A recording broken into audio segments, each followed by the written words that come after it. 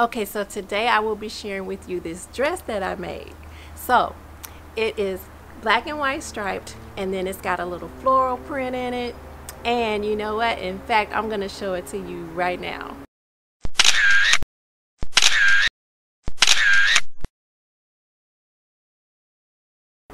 Okay, so let me talk about this pattern. This is an older pattern. I have had it for a while, but never made it. So this is Simplicity 3744.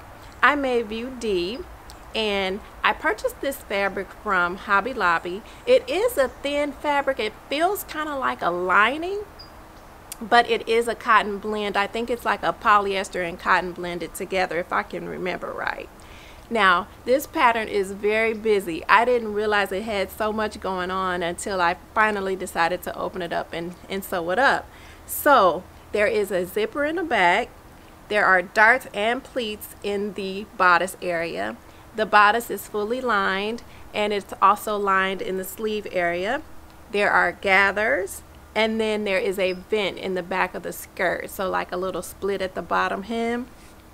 Yeah, so that is a lot. That's a lot going on. Um, the only changes that I made were to do a little understitching around the neck area and around the sleeve area because the pattern didn't say to do that but I just decided to go ahead and put those features in there. And then um, I released one of the pleats because there were two pleats in the skirt area but I just took one of them out because it was fitting a little bit tight on me.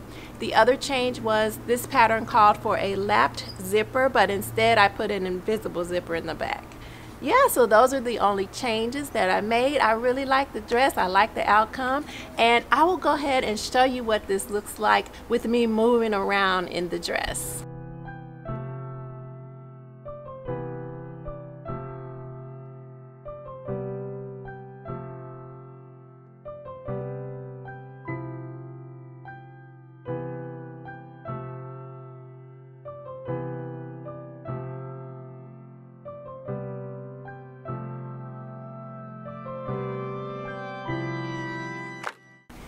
yes so that is my dress. That's the only sewing make that I have to share in this video.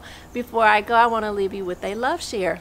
So have you ever been out shopping and you have your shopping cart and you're pushing it to your car and all of a sudden you come across these little bumps in the road that kind of bring your cart to a halt? And this is what those little bumps look like in the road.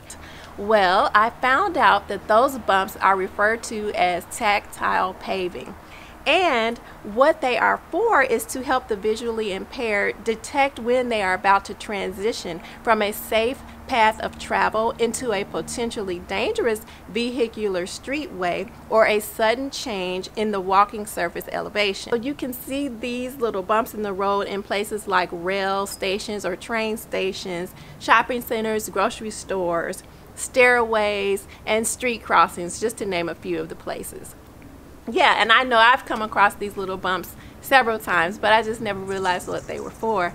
So yes, I wanted to share that with you. And thank you so very much for watching, and I will be back next time.